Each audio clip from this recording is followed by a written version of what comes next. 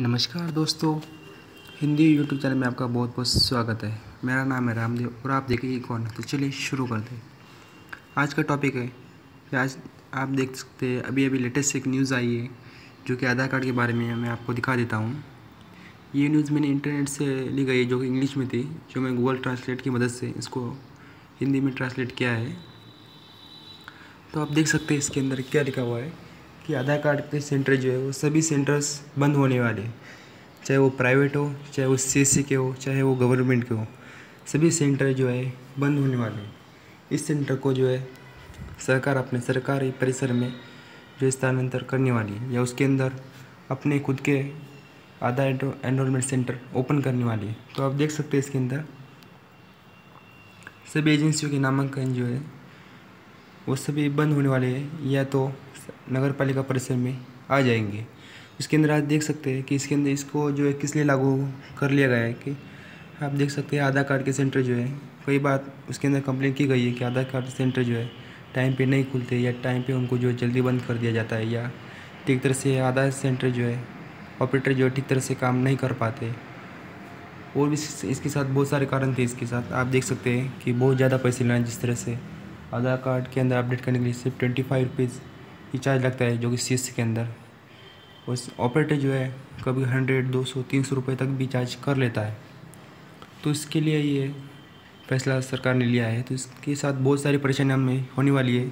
एक वी के लिए बहुत बड़ी बात हो गई है। क्योंकि वी जो इतना सारा खर्च करके आप देख सकते हैं आधार कार्ड सेंटर शुरू करने के लिए दो लाख से भी ज़्यादा की ज़रूरत होती है।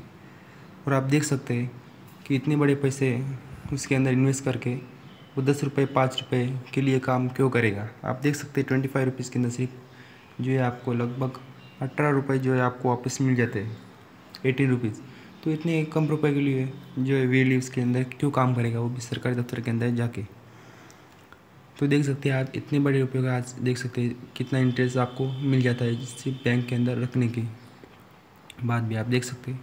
तो ये फ़ायदे सौदा नहीं होगा, ये सौदा जो घटेगा होगा इसके ऊपर में मुझे आप कमेंट भी कर सकते हैं कि ये फैसला जो है सही है या गलत है। तो चलिए बात करते हैं। नरेंद्र मोदी जी ने ये फैसला लिया है जो कि सोशल मीडिया के अकाउंट्स पे सब कुछ आपको दिखाई देगा। सोशल मीडिया के थ्रू ही आपको ये फैसला जो है सुनाया गया है। इसके अंदर देखिए, इस, इसके अंदर ये बताया गया है कि आप जो है, सितंबर तक जो है आपको सभी अपने जो सेंटर से आप सरकारी नगर पालिका या उसके परिसर में आप लगा सकते हैं, आपको वहाँ पे लगाना ही लगाना होगा। इसके लिए देख सकते हैं आप, अभी जो पूरे भारत में जो पच्चीस हज़ार से भी ज़्यादा जो है, नामांकन सेंटर, जो है इनरोलमेंट सेंटर जो है, अभी एक्टिव है। मतलब जो अभी काम कर रहे हैं, उसके बाद एक्टिवेट है वो। तो सभी को जो है, लेटर भेज दिया गया है कि आप जो अपने सेंटर के लिए आपको क्या करना है, आप खुद सोच लीजिए। आपको बंद करना है या आपको अपना सेंटर जो है, स्थानांतरित करना है सरकारी परिसर के अंदर। तो ये देखिए, भूषण पांडे जी ने राज्यों को पत्र लिखा है, इकतीस जुलाई तक नामांकन और गतिविधियों को सरकारी प्रसव के भीतर पहचान करें। मतलब आपको जो है सरकारी जो जगह है, उसके अंदर आपको नामांकन करना होगा अपना सेंटर चलाने के लिए। इसकी जो है लास्ट डेट है थर्टी फ़र्स्ट अगस्त तक ये जो है आपको करना ही करना है, उसके बाद आपका सेंटर जो है बंद हो जाएगा। सॉरी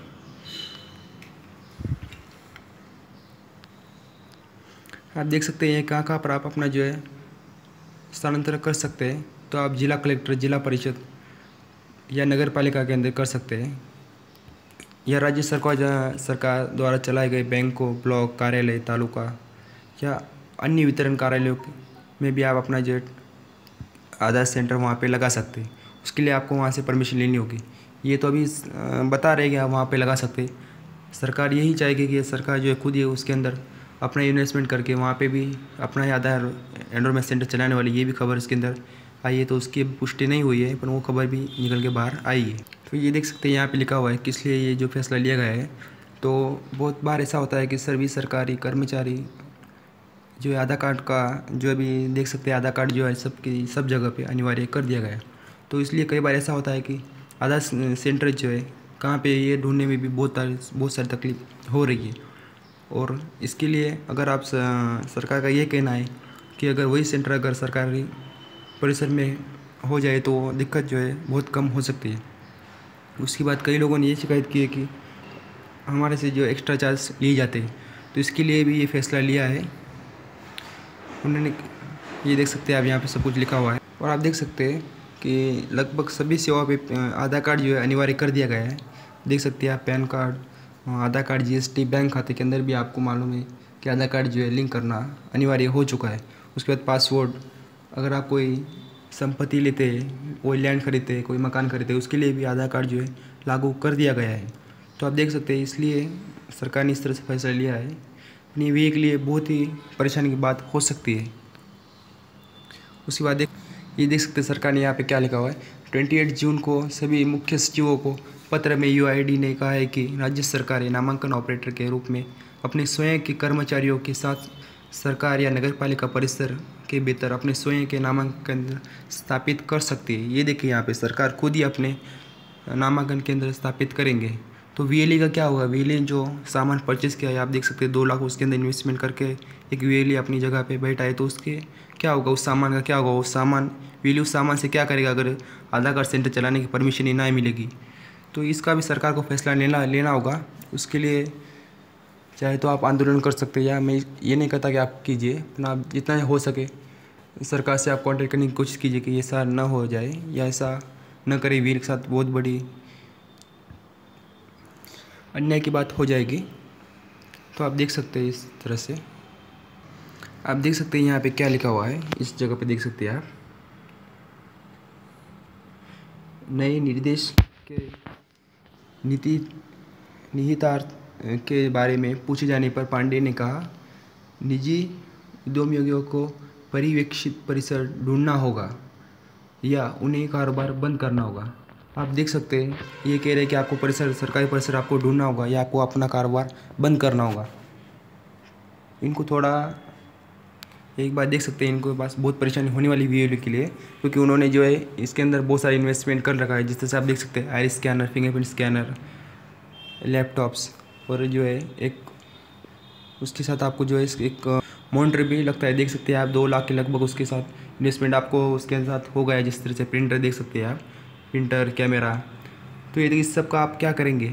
इसके लिए वे वे कुछ कदम उठाने होंगे तो आप देख सकते हैं, इसके ऊपर कुछ कार्रवाई होनी चाहिए, ऐसा मुझे लगता है। अगर आपको क्या लगता है, आप मुझे कमेंट में लिख के भेजिए। और अगर आपको मेरा वीडियो अच्छा लगे तो शेयर कीजिए। इसको बहुत ही, बहुत ज़्यादा संख्या में शेयर कीजिए, ताकि वीएलई जो है, जाग सके। वीएलई को जो परेशानी जो है, वो कम हो सके। उसके ऊपर कुछ जो है, उपाय निकल सके। कुछ उसके साथ सोल्यूशन निकल सकें।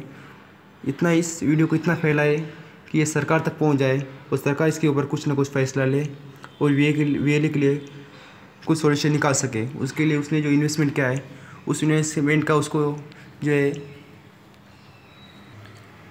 वी ने जो इन्वेस्टमेंट किया है, उस इन्वेस्टमेंट को जो या तो सरकार ख़रीद ले, या उस इन्वेस्टमेंट के लिए कुछ काम दे दे। तो ये फैसला सरकार को लेना होगा।